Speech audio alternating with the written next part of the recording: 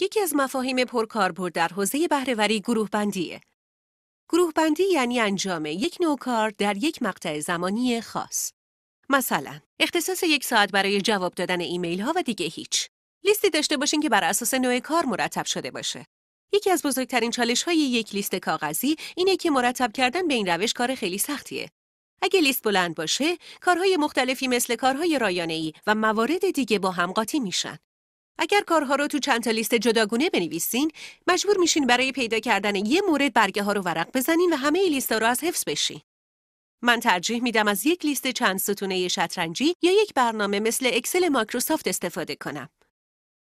این ایده رو از حرفهای استیو رابینز در پادکست انجامش بده مرد گرفتم.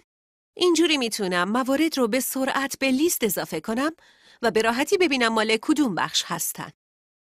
بیاین یه نگاهی به یک لیست گروه بندی شده یه چند ستونه بندازیم. من از یک برگه شطرنجی استفاده کردم تا به راحتی براش یک کادر تیک درست کنم و وظایف متناظر رو مشاهده کنم. توی این لیست همه کارها رو نوشتم و در آخرین ستون سمت چپ نوع کارها و موقعیتها رو در نظر گرفتم. هر وظیفه یک کادر تیک در قسمت راست خودش و پایین ستون مربوطه داره. مثلا اینجا در مقابل نوشتن سخنرانی یک کادر تیک زیر ستون رایانه هست. می‌تونین برای چند ستون از کادر تیک استفاده کنین. در مقابل خرید نوار برچسب یک کادر تیک خالی برای مأموریت ها فروشگاه تجهیزات اداری و فروشگاه محلی دارم چون می‌تونم این مورد رو بسته به نزدیکی مسافت از هر کدوم اینا تهیه کنم.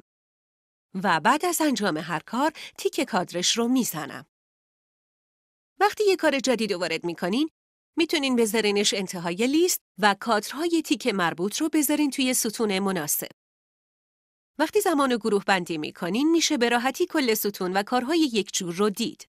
مثلا وقتی می‌خوام تماس بگیرم به راحتی می‌تونم ستون تلفن رو نگاه کنم و همه مواردی که در این زمان می‌تونم انجام بدم و ببینم. اگه از روش سه اولویت اصلی که تو درس قبلی گفتم استفاده می‌کنین، می‌تونین به سرعت سه اولویت اصلی اون ستون رو تعیین کنین و برجستهشون کنین. برگه شطرنجی ابزار خوبی برای تهیه لیست های اینجوریه ولی با برنامه هایی مثل اکسل مایکروسافت هم میشه این کارو به راحتی انجام داد. با این روش میشه به راحتی کارهای انجام شده رو در پایان روز از لیست اصلی حذف کرد و دیگه مجبور نیستین هر وقت که لیست در هم بر هم میشه از نو کل لیست رو بنویسین.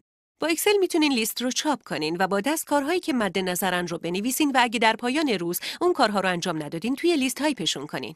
فرقی نداره از چه ابزاری استفاده می‌کنین. با یه لیست چند ستونه می‌تونین بی دردسر یه لیست بلند رو تهیه کنین. این روش برای لیستای ساده مناسبه. ولی اگه لیست شما به روزرسانی تحویل کار یا اطلاعات پیچیده لازم داشت اون وقت چی؟ در درس بعدی درباره استفاده از فهرست کارها برای پیگیری اونا و پروژه های پیچیده تر حرف می‌زنیم.